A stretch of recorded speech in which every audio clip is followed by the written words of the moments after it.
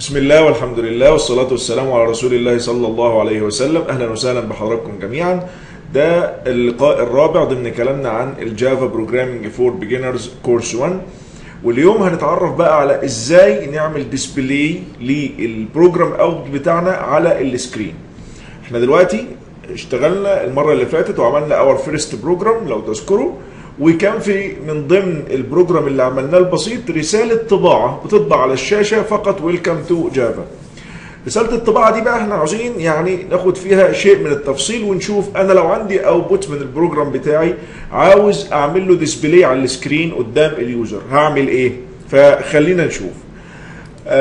اولا إحنا في ال Java الجملة اللي بنستخدمها عشان نطبع حاجة على ال screen إما نستخدم System dot out dot print ودي اللي شفناها المرة اللي فاتت في ال first program اللي عملناه.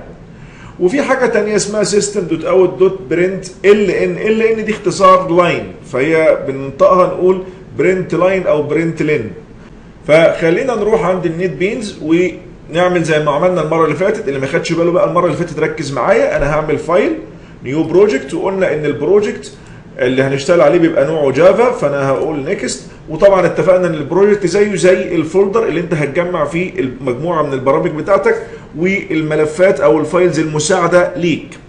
فال project يعني تعتبره كده folder حاجة هتحتوي فيها أو هتخزن فيها ال programs بتاعتك.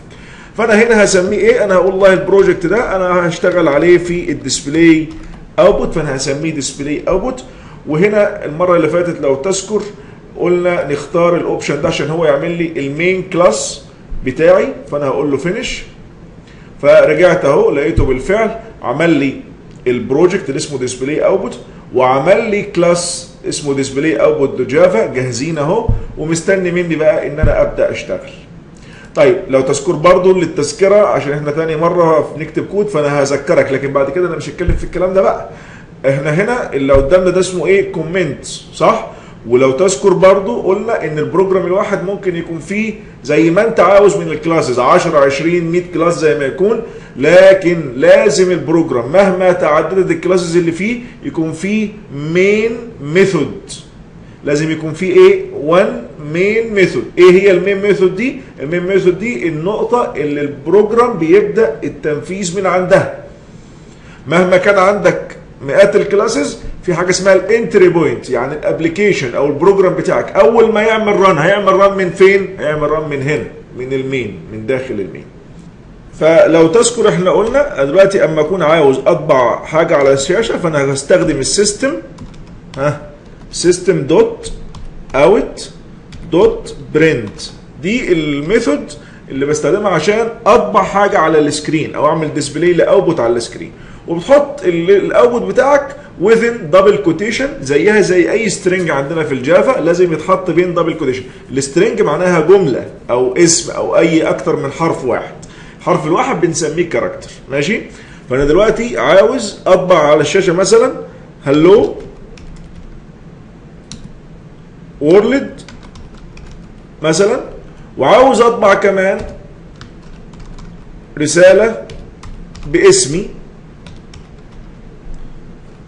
فأنا هقول له dot print I am مثلا محمد. okay؟ ده اللي أنا عاوز أعمله دلوقتي عشان أوريك حاجات كده عاوزين ننتبه لها. طيب أنا دلوقتي عملت run فراح اعمل إيه؟ ركز معايا في ال output تحت كده. عمل إيه؟ قال اهو hello world. خلينا أطلع دي فوق شوية. hello world. وعلى طول راح حاطط جنبها I am محمد. ليه بقى؟ آه لأن ال system بتاع dot print أما بتطبع ال output بتخلي ال cursor ها واقف عند آخر حرف هو طبعه. فأما بتيجي جملة طباعة تانية بتعمل فين؟ بتكمل مطرح ما ال cursor واقف. فعشان كده زي ما انت شايف كده طبعهم على سطر واحد وطبعهم كمان يعني يعتبر لازقين في بعض. طيب أنا مش عاوز كده بقى. أمال أنت عاوز إيه؟ لا أنا عاوز كل جملة على سطر. آه يبقى في الحالة دي بقى بدل ما تستخدم system dot out dot print استخدم system dot out dot println أو print line اللي أنا كنت بقول لك عليه. خليني أعمل comment لدي طبعا إحنا اتفقنا العلامة دي علامة ال comment لو عاوز أعمل comment لسطر واحد. فأنا هنا بدل ما هي print هخليها print ln اللي هي اختصار print line أدي print ln وتعالى نشوف ال output دلوقتي. آه شايف بقى دلوقتي؟ hello world فال print line بعد ما طبعت الجملة عملت إيه؟ نزلت ال cursor على ال new line على السطر التالي. وبالتالي أما جت تطبع I am محمد طبعت على السطر الجديد. okay؟ أدي الفرق الجوهري بين ال print وال print line أو ال println اختصارا. تعال نرجع لل slide طيب دلوقتي أنا ممكن وأنا بكتب ال string أو ال text اللي أنا هطبعه على الشاشة تقابلني فيه شوية مشاكل. يعني إيه بقى؟ أو يعني مش قول مش مشاكل احتياجات أنا عاوز أعملها في ال text. فعلى سبيل المثال إيه يعني؟ يعني مثلا أنا عاوز آجي في وسط الكلام أنزل على السطر اللي بعده. فاهم؟ أنت بتكتب paragraph كبير. وعاوز مثلا مثلا كل عشر كلمات عاوز أنزل سطر جديد. ففي الحالة دي عملنا حاجة اسمها escape sequence escape sequence دي عبارة عن كأنك بتدي ال compiler أوامر عشان يعمل formatting formatting يعني إيه؟ آه يعمل إعادة تشكيل لل text اللي أنت بتكتبه. فأنت بتقول له لو لقيتني في وسط ال text حاطط backslash n افهم اللي أنا عاوز أنزل سطر جديد وكمل الكلام اللي جاي بعد كده على السطر التالي. طيب عاوز مثلا أنا وأنا بكتب ال output اسيب مسافة اللي هي ال tab. فاقول له backslash t. فكده معناها إيه؟ آه اما اكتب الكلمة دي واحط لك backslash t يبقى سيب بعديها tab وبعدين كمل. ال backslash r معناها ال carriage return معناها اللي انت بتقول له بعد ما تخلص كتابة الجملة رجع ال cursor لأول حرف انت كتبته. يبقى هو مش هينزل سطر جديد لا هيرجع ال cursor فين؟ عند أول حرف كتبه في هذه الجملة. طيب أمال إيه ال double backslash دي؟ آه ال backslash اللي أنت عاملها دي افرض أنت ال text بتاعك نفسه يحتوي على backslash فأنت بتحط ال backslash الثانية دي قبليه. يبقى عندك double backslash في حالة إن أنت عاوز تعرض ال backslash طيب هنا طيب backslash وبعدين double quotation هو الفكرة فين؟ أنت عاوز تحط double quotation في ال text اللي أنت هتطبعه. أهو الجملة اللي أنت كاتبها فيها double quotation فأنت عاوز تقول لل compiler ال double quotation دي من عندي أنا سيبها. ما تشيلهاش. ما تفتكرهاش اللي هي بتاعت ال string لا ده دي من عندي أنا في الكلام اللي أنا حاطه. فنفس الكلام هنيجي نحط ال escape character اللي هو بالنسبة لنا هنا ال backslash قبل ال double quotation لو حبينا نشوف أمثلة تعالى هنا نشوف كده. الجملة دي مثلا. الجملة دي عاوزين نطبعها as it is كده. He said that I am from Egypt but lives in KSA طيب. I am from Egypt لو تاخد بالك محطوطة بين double quotation وبرده الكلمة بتاعت KSA محطوطة فين؟ بال double quotation تعال نشوف أنا وأنت كده في ال compiler في ال NetBeans أهو. أنا دلوقتي خليني أشيل الكلام ده دلوقتي أهو وأكتب من في عشان تبقى الدنيا سهلة رايقة كده. وأنا هكتب system dot out ها dot println خلاص بقى إحنا فهمنا الفرق من الاثنين فانا عاوز أقول طبعا أي string هنحطه فين؟ بين double quotation خلاص أنا تحت ال double quotation بتاعتي. وهكتب he said أهو he said that ها. عاوز أقول I am from Egypt بس احطها من double quotation ال text جاي لي كده. فخلاص خلينا نفتح double quotation اهو واكتب في النص اللي انت عاوزه. شوف على طول ال compiler لحقك قال لك اللي انت بتعمله ده غلط. إزاي ده انت حاطط لي 20 double quotation اعرف منين بقى أنا؟ بداية ال string وقفلته. اعرفها منين؟ أيوه فانت هنا بقى هتحط خليني ابعد لك كده. انت عاوز تكتب هنا في النص I am صح؟ from Egypt اهو عاوز تكتب الجملة دي هنا. بس لو انت سكت كده وعملت run تعال نشوف. طبعا خطأ. ليه؟ ال compiler دلوقتي ما يعرفش ال string اللي انت فتحته ده نهايته فين. يا ترى هي دي نهايته؟ ولا دي نهايته؟ ولا فين؟ إيه بالظبط؟ فآه هنا بقى أنا بقول لل compiler إن ال double quotation دي تبعي أنا. من ال text بتاعي. فبتحط كده قبليها. escape character وهنا نفس الكلام. ال double quotation دي تابعي أنا. فبحط له escape character شايف كده؟ الخطأ راح لأنه فهم بقى اللي أنت حاطط escape character فأنت بتقول له ده تبعي مالكش دعوة بيسيبه. okay؟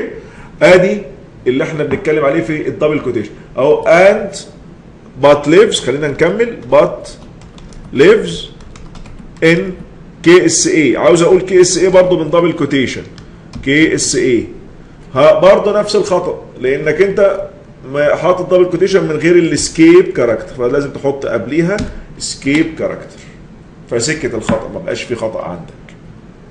okay؟ آدي أول مثال على ال escape sequence اللي اتكلمنا عليه. خليني برضو أعمل run عشان نشوف اللي حصل. آه شوف هنا. ما عندوش مشكلة. he said that I am from Egypt but lives in KSA وطلع لك I am from Egypt من double quotation بتاعتك زي ما أنت عاوز. in KSA برضه في ال double quotation زي ما انت عاوز. طيب لو أنا كنت بكتب كلام كتير خليني آخد دي أستعين بيها عشان أوفر وقت أهو. وعاوز في النص أسيب حرف جديد يعني أقول he said that عاوز أقول I am from Egypt دي من في سطر جديد مثلا. فأروح جاي هنا قبل I am from Egypt أحط backslash n فكده أنا بفهم ال compiler إن الجملة الجاية دي حطها لي في سطر جديد. وبرده but lives in KSA برضه عاوز أخليها في سطر جديد. فأنا هنا أهو أحط له قبليها backslash n فكأني بقول له يا compiler اللي جاي لك ده نزله في سطر جديد. تعالى نعمل run كده. أهو شايف؟ he said that وبعدين قابل ال backslash n فراح منزل سطر جديد. I am from Egypt وبعدين قابل backslash n نزل سطر جديد وكتب but lives in KSA okay؟ طيب تعالى نرجع لل slide نشوف باقي الأمثلة. هنا مثلا بيكتب ال location بتاع file فهيحتاج وهو بيكتب ال location بتاع file يحط ال backslash صح؟ طيب هنعملها إزاي؟ أهو تعالى نعملها بسرعة. هنا بيقول system طبعا خلي بالك system أيوه capital dot out dot println وبعدين أنا عاوز أقول له the file located in؟ خلي بالك بقى. أنا عاوز أقول له على ال D. هتلاقيه موجود على ال folder بتاع ال D أو على ال drive بتاع ال D. وبعدين في ال Java projects وبعدين هتلاقيه كمان داخل ال folder اللي اسمه try output مثلا يعني. طبعا هنا طلع عندك أخطاء ليه؟ أيوه لأنك أنت حاطط backslash هو ال backslash بالنسبة له إيه؟ أمر. فانت عاوز تقول له لا دي ال backslash دي من عندي أنا ضمن ال text بتاعي. خلاص يا عم يبقى اعمل لي ال sequence بتاعي بقى. اعمل لي اسف ال escape بتاعي ال escape character بتاعي اللي هو ال backslash. فقلت له خد يا عم ادي escape character وادي escape character عشان تعرف ان أنا قصدي ان ال backslash دي تبع ال text بتاعي. تعالى نعمل run كده شايف هنا the file located in وراح كاتب لك ال path صح بالظبط. اهو D backslash على Java project backslash try out okay؟ طيب عندي كمان هنا. حب يستخدم ال tab. عاوز يكتب كده Sunday وفي مسافة Monday Tuesday Wednesday دي هتستخدمها ممكن كتير على فكرة في في البرامج بتاعتك. تبقى عاوز مثلا تعمل ال output بشكل معين عاوز تعمله في شكل جدول ولا حاجة. فهنعمل إيه؟ أهو تعال نجرب أنا وأنت. أنا هاجي أقول أدي ال system. أهو dot out dot println اهو وهاجي أقول له اطبع لي كده. مثلا work days are شوف أنا هعمل إيه. خليني بقى أحط له سطر جديد. اهو طبعا print line دي أنا كاتبها غلط عشان كده هو زعلان جدا مني وعمال يطلع لي الأيقونة الحمراء دي. أو print line عاوز اكتب على سطر جديد؟ طيب عاوز تكتب إيه بقى؟ عاوز اكتب التالي Sunday وبعدين اسيب مسافة كبيرة اللي هي ال tape أو ال tab اسف. فاحط slash t أو backslash t وبعدين عاوز اكتب Monday وبرضو اسيب مسافة. فاحط backslash t عاوز اكتب Tuesday واسيب مسافة كبيرة. أحط backslash t وبعدين Wednesday واسيب مسافة كبيرة. أحط backslash t وهكذا. خلصت؟ اقفل ب semicolon تعال نجرب كده نشوف. أيوه لو تاخد بالك. work days are. ها؟ شوف بقى نزل سطر جديد ليه؟ لأن work days are وبعدين لقى backslash n بدأ يكتب Sunday ساب مسافة كبيرة ليه؟ لأن أنا قايل له أيوه backslash t Monday Tuesday وهكذا. okay؟ يبقى ده باختصار كده اللي أنا عاوزك تاخد بالك منه في التعامل مع ال print أو ال print line. لو عاوز تطبع على الشاشة هتستخدم ال two methods دول وما تنساش تستخدم ال escape sequence أو ال escape characters دي في حالة إن أنت عاوز تعمل formatting بشكل مختلف لل text. okay؟ شكرا لوقتكم وهنكمل إن شاء الله في فيديو آخر.